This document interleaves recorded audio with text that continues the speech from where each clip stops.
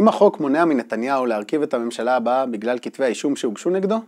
בג"ץ עומד לדון בעתירה בשאלה הזאת בדיוק, וכדאי להעביר את המצב החוקי. חוקי היסוד של מדינת ישראל מסדירים את יחסי הרשויות וקובעים מי יכול להתמודד בבחירות ומתי נפסקת כהונתו של ראש ממשלה מחמת עבירה.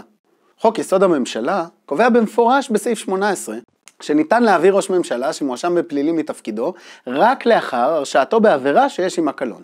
חוק היסוד מתייחס במפורש גם לאפשרות של ראש ממשלה שלא מצליח להרכיב את הממשלה, וקבע בסעיף 30, שחור על גבי לבן, כי ההסדר בנוגע להפסקת כהונה חל גם במצב שבו ממשלה מכהנת מדין רציפות, או כפי שהיא מכונה ממשלת מעבר. חוק יסוד הכנסת קובע בסעיף 6 תנאים להתמודדות על מושב בכנסת. כל אזרח ישראלי מעל גיל 21 זכאי להיבחר לכנסת, אלא אם נידון בפסק דין סופי לעונש מאסר לתקופה העולה על שלושה חודשים, וטרם עברו שבע שנים מיום גמר ריצוי המאסר. חוק יסוד הממשלה קובע כי נשיא המדינה יטיל את מלאכת הרכבת הממשלה על אחד מחברי הכנסת, וממילא אין מגבלה בחוק על הקמת הממשלה, כל עוד זכאי חבר הכנסת להיבחר לכנסת. חוקי היסוד ברורים.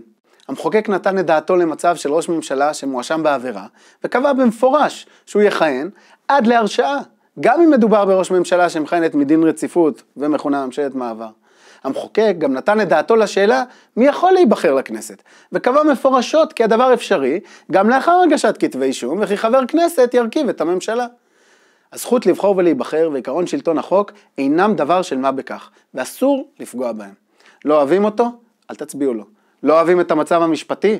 תשכנעו את המחוקקים לשנות אותו בכנסת, אבל אל תתמכו בסטייה מהחוק רק בגלל שהוא לא מתאים לכם.